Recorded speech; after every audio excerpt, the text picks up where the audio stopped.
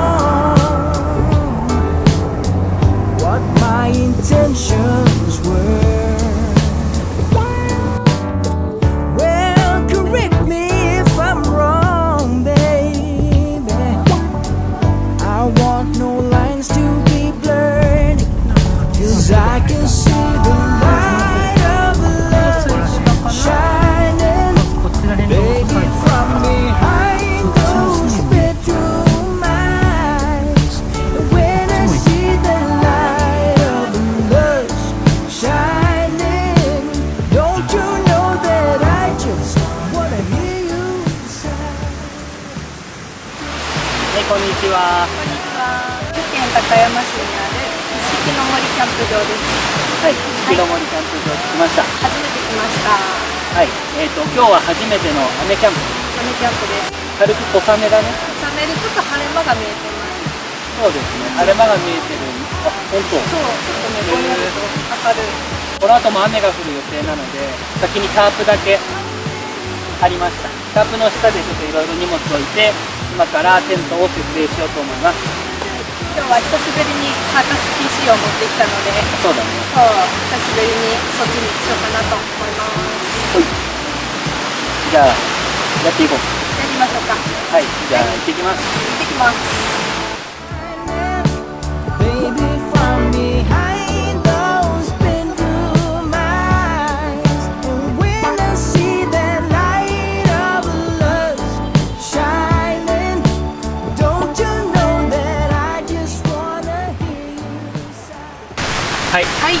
じゃあ設営がやっと終わりました。終わりましたね。長かった。長かったね、今回は。2時に着いて、えっと今が4時半。2時間半かかって設営しました。えっと雨の日のキャンプが初めてで、こうねタープとテントの張り方で雨が入らないようにだったりとかで、もうめっちゃ試行錯誤して、ねうんテントとタープを動かしてね。でもいろいろ勉強になりますね。そうだね、勉強になったね。もう本当はあの小川張りっていうのをやりたかったんですよ。えっと小川張りっていうのがタープとテントをえっと連結させるやり方で、多分ここら辺ちょっとこういうやり方が出てると思うんですけども、うっかり忘れてて、そこから試行錯誤して約2時間半かけてタープとテントと一応こんな感じで設営が終わりました。いや、お腹減ったね。ね。昼ご飯もちょっと軽くだったので、ちょっとお腹減ったので、この後は、えっ、と、今日の晩ご飯をもう作り始めて、ちょっと早めにね、食べていこうかな。今回ちょっと新しくあの買ったアイテムがあるのでちょっとそれを紹介しようかなと思いますはいまずはこれですねえっ、とグローブはいこれは金庫のグローブでえっ、とアメリカのえっ、とメーカーらしいですね。前もこの金庫のグローブ持ってたんですけども指に穴が開いちゃったので2台目買いました。これすごくあの手にフィットしてすごい使いやすいんですよ。色も可愛いよね。そう色も可愛い。そう結構手がこうやって自由に動くし頑丈だしあのすごい使いやすいのでこれすごいおすすめ。しかも値段が安い。いくらですか？すごく安くて1800円で買いましたちょっと備考欄にそれ書いとこうと思います。金庫のグローブ。はい、えーっと、あと新しく仲間入りしたのがこの台なんですけど、えーっと、アイアンはメルカリで2000円ぐらい、2つで2000円？うんうん。か？はい、2000円ぐらいで買いまして、あとこの板は、あのーすごく軽いんですけど、あの、ホームセンターで、1、2、3、4、5、6、6枚買って、この板だけで持ってこれるのでアイアンに差し込むだけっていうすごく簡単に設営できて軽くておすすめです。はいそれともう一つ買ったのがじゃじゃん。これです。はいこれはえーと、以前の動画の中でこのテーブル欲しいなっていう風に言ってたんですけどもモンベルのマルチフォールディングテーブルワイドマルチフォールディングテーブルワイドを買いましたどこのお店にももう売ってなくて、えーと、ヒマラヤのオンラインショップで売ってたんですよ。奇跡的に。もう即買いでしたね。即買い。はい。ちょっとこれ開封していこうと思います。もうまだビニールにもビニールに包まれたままの新品の状態です。このキャンプで開封しようと思います。待ってました。開けるのを。よえいえいいしょ。出ました。腰の部分で。軽い？すごい軽いわ。うん。開けちゃおう。おおかっこいい色が。青色ですね、ワクワクする。こういう新しいキャンプアイテムはワクワクするね。こんな感じの木の柄とあそうですね。両方木だけどこの色合いが濃いのと薄いのとあってまたちょっとポイントがこのモンベルっていうロゴがこのさりげない感じがいいなって私は個人的に思います。高さはとりあえず一番高いのでこうと思います。開くのかな？よいしょはい、じゃあ濃い方でいきます。はい、いいね、いい色だね。うんいい感じや。で、多分止めるところがあるんだよね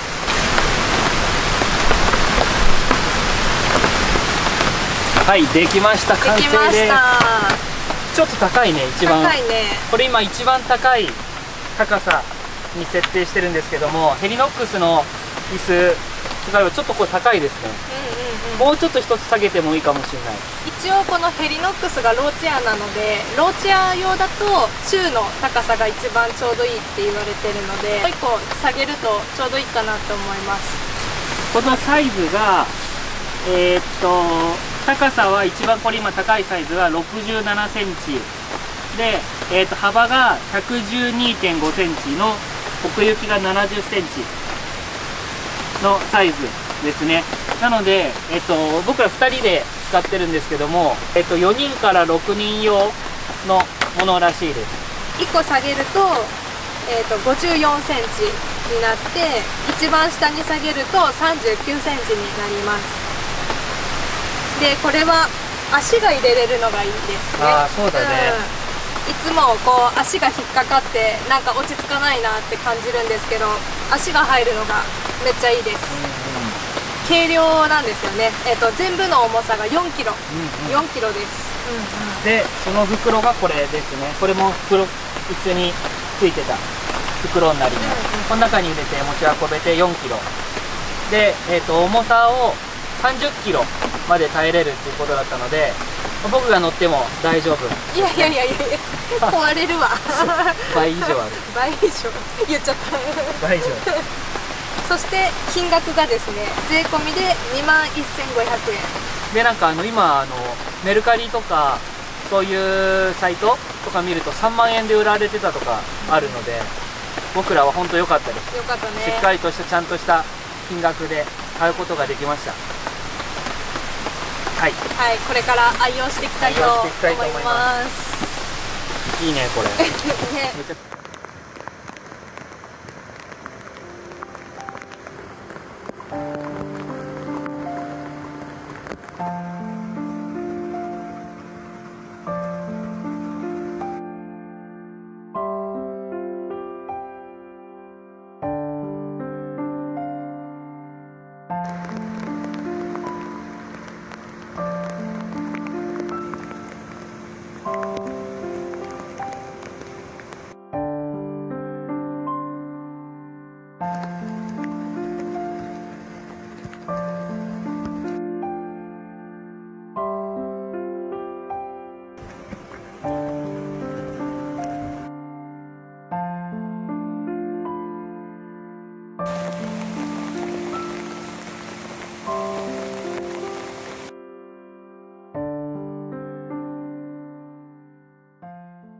はいじゃあ巻き割りやっていこうと思います。はいお乳の金庫のグローブです。こう薪をここで2束買いました。で薪2束買ったんですけどもえっ、と薪はこれですね。ちょっとでかいでかいです。種類は松の木です。針葉樹ですね松の木は。焚き火には、えっと広葉樹と針葉樹の、まあ、木があるんですけども、えっとどちらかというと広葉樹の方が、えっと長持ちするので広葉樹の方が僕は好きなんですけども、まあ、ここは針葉樹でした。はい。で松なので確か松の特性としては結構煙が出やすいですよね。まあ着火にはとても優れているので、まあ、これでちょっとやっていこうと思います。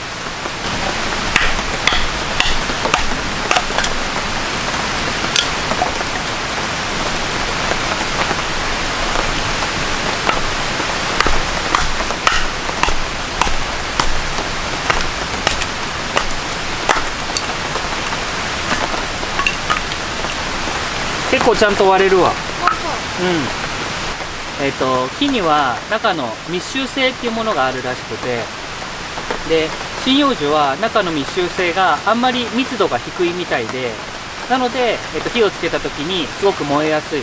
逆に広葉樹は、えっと木の密度が、えっと結構高いらしいので燃えにくい。気持ちがいい。っていう風に言われています。で針葉樹他の種類としてはあとは杉だったりというヒノキがありますね。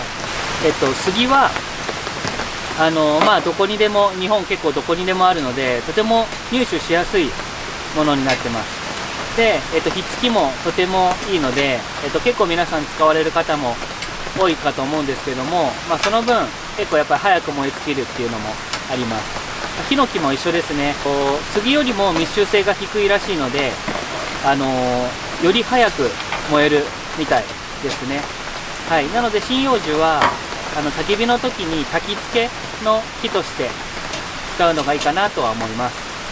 えーと、広葉樹は、えーと、白樺とかあとは奈良の木とかあとはクヌギっていう種類がまああるんですけども、まあ、白樺は、まあ、結構あの寒い地域にあのある木じゃないですかなのでちょっと入手しづらいっていうのがあるんですけども皮の部分の、まあ、裏側？皮か。皮がすごい燃えるらしいんですよ。まだ僕も使ったことなくて木の焚き付けに使う人も多いみたいでとてもいいやつらしいです。あと奈良の木とかも、あのー、燃焼時間もまあえーと、と広葉樹なのでとても長いのでそれも結構おすすめでクヌギが結構一番いいみたいですね。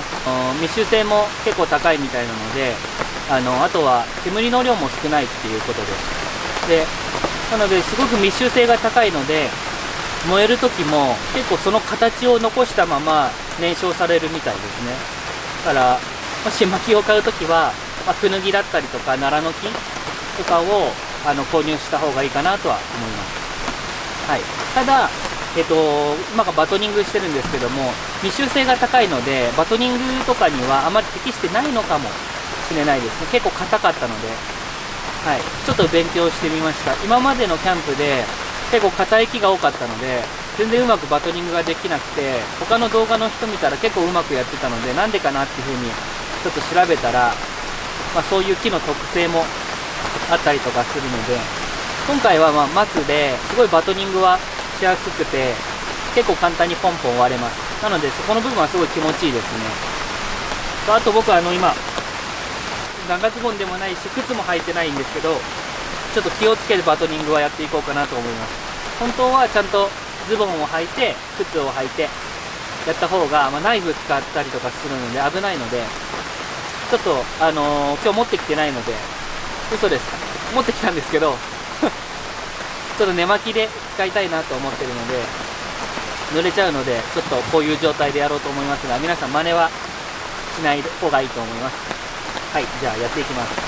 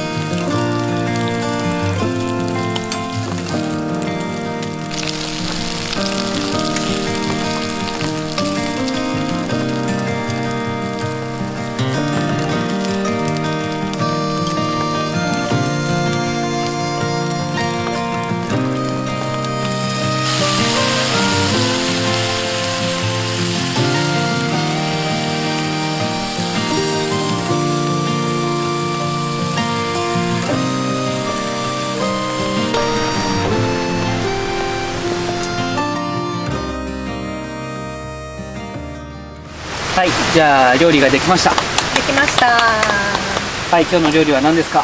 えーっとジャーマンポテトとはい。スペアリブです。何っていう料理名は分からんけど初めてスペアリブを。あの下準備であのほぐしやすくなるようにちょっと切り込み入れて一回茹でてあるので、うん。あの骨から外しやすいはずです。じゃあいただきます。いただきますはいじゃあ乾杯。乾杯、い。いただきます。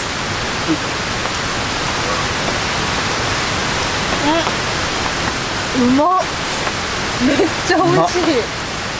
超成功やこれ大成功だね。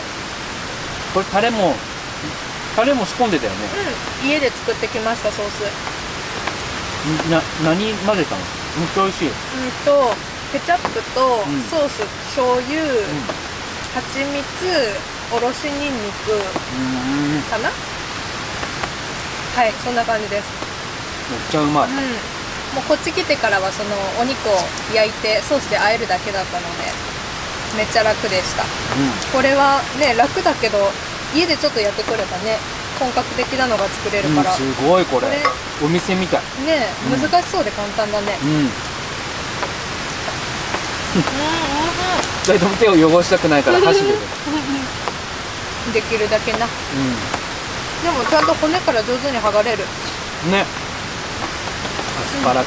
うん。めっちゃ美味しい。うん塩加減もちょうどいい。ほ んとよかった辛くない？うん。さっきあの塩加減の量でちょっと喧嘩したんですよ。ちょっとあ少ししかかけなかったんですみちゃんがだからそれじゃ少ないって言ったらなんかもう自分でやってみたいな。いやだってあ今回これあのそういえば見る。うんうん。これ買ったんですよ。なんか今まで、まあ、クレイジーソルトお気に入りなんで使ってたりとか、まあ、普通の塩コショウだったんですけどちゃんとしたレッヤングコーン。ドレッド岩塩とブラックペッパーをあのちょっとミルで引きたいなと思って。そうこれをちょっと今日初めてやってみたんですけどそうだね。今までのなんかう塩コショウで混ざってるやつとやっぱ香りが全然違うね。んうん、うん。うん、美味しい。うん。じゃあジャーマンポテト食べます。でかい。ジャーマンポテトのソーセージなんですけどもレシピだと結構ね切ったりとかしてるんですけども丸ごと入れちゃいました。まずポテトから。美味しそう、うん。うんうまっすごい。ローズマリーの香りがすごい。いただきます。うま。っうん。ホクホクや。んうん。おいしい。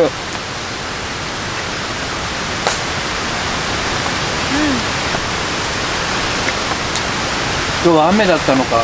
すぐ外が暗くなっちゃってね、前のロックフィールド糸代の時は19時でもまだ明るかったんですけど、今はもう結構もう真っ暗ですね。ね真っ暗。今はもう8時半でした。ちょっと遅めの夜ご飯ですよね。美味しい。すごい美味しいね。これ大成功じゃない？うん。うん料理大成功。あここれすごいおすすめ。うん。作り方っていうのもあの備考欄に書いとこうと思うのでもしよかったらあの参考にしてもらえたら嬉しいなと思います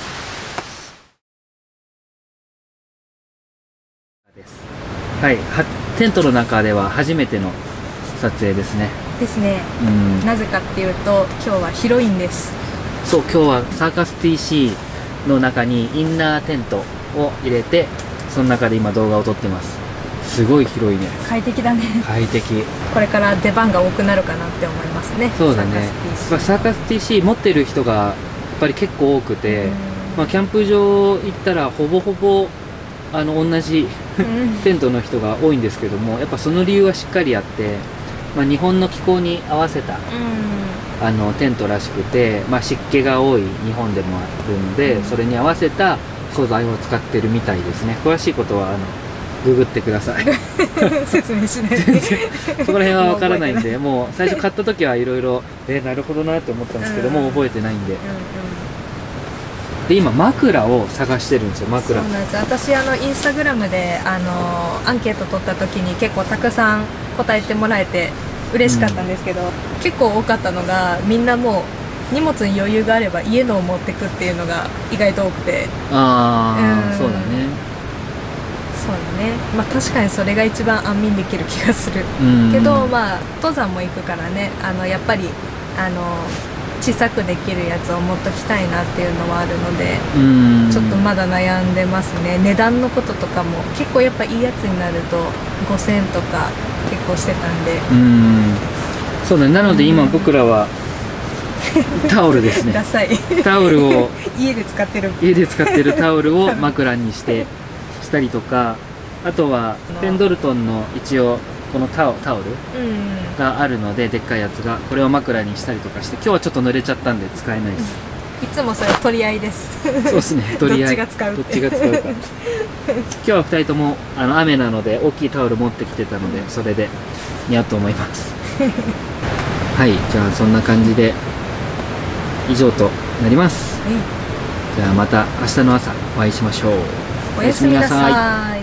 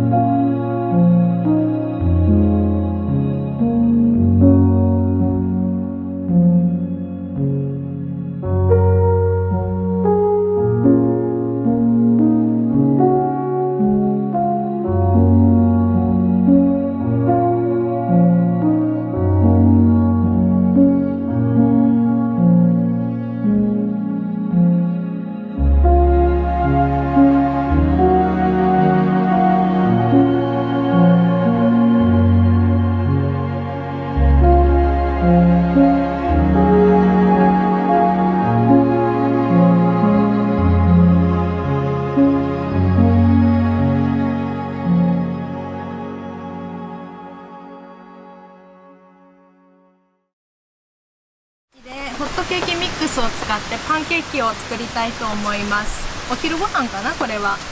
はい、じゃあ早速やってきます。これこの前口実山荘で買いました。卵2個ケース。このまんまこうやってゆで卵ができるらしいです。美味しそうだねすでに。そうかな。すごいふっくらしそうじゃない？ね。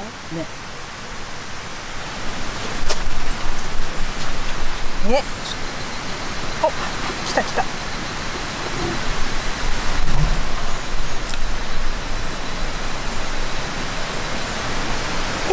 おおちょっと焦げてるちょっと焦げたけどふっくら。断面はどうですか？こんな感じでできました。できました。火通ってそうだね。うん。じゃあ食べていこうか。うん。食べよう。はい、えー、撤収が終わりました。出ました。無事今は雨止みました。見ましたね。見事よかったね。よかった。この後ちょっとだけこのキャンプ場でスミちゃんの写真を撮って、えー帰ろうと思います。はい。アメキャン最高でした。楽しいですよ。もしよかったらチャンネル登録とグッドボタンしていただけたらハッピーです。はい。長い動画になったと思うんですけども最後まで見ていただいてありがとうございました。ありがとうございました。じゃあありがとうございました。ありがとうございました。Light red carnations on the tablecloth. And handwritten